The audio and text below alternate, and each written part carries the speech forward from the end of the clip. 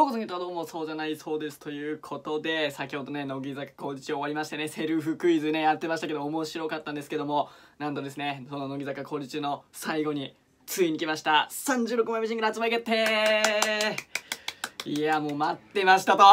もう今日来なかったらいつ来んのという感じでもう僕は3週間ぐらい前からね待機してましたけどねドキドキしてましたけどね今日もドキドキしながらセルフクイズね見てましてついに来ましたと待ってました待望のね発売決定のお知らせ来ましたよということでまずね発売日なんですけれども8月21日の水曜日ということで、思ったより早くないですか？僕だけかもしれないけど、え、なんか、お前こないだね、36枚目したけど、9月発売かもみたいな動画出してませんでしたかっていうね。全然外れとるやんっていう感じですね。思ったより早かったっすね。8月21日と。いうことで僕は9月の可能性も全然あるなと思ってたんですけど意外と全然8月だったっていう。意外とね全然8月だった。だからもう残りね1ヶ月ちょっとしかないわけですよね。だから来週ねそして選抜発表も、えもちろんねあります。7月14日の乃木坂工事中で選抜発表ありますけれども7月14日選抜発表でってなったらもう本当に選抜発表されてから約1ヶ月後というかね1ヶ月後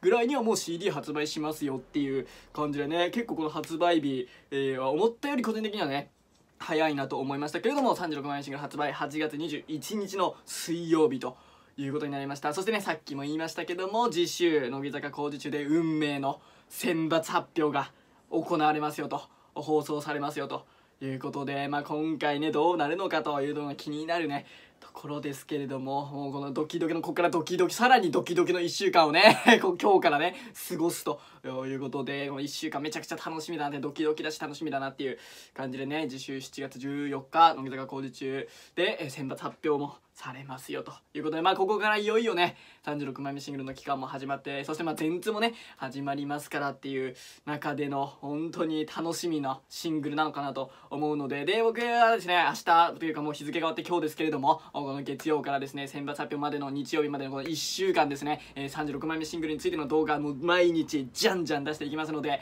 ぜひですねそちらも見ていただけたらなと思います。ということで今回ね緊急で動画撮ったんですけども36枚目シングルの、ね、発売のお知らせ来ましたよと。そして次週選抜発表のお知らせも来ましたよと。いうことで動画撮っていきました。はいということで今回これで終わりたいと思います。最後までご視聴いただきありがとうございました。この動画少しでもいいなと思ったらチャンネル登録と高評価よろしくお願いします。Twitter と Instagram もやっておりますので概要欄からフォローしていただけると幸いです。バイバイ。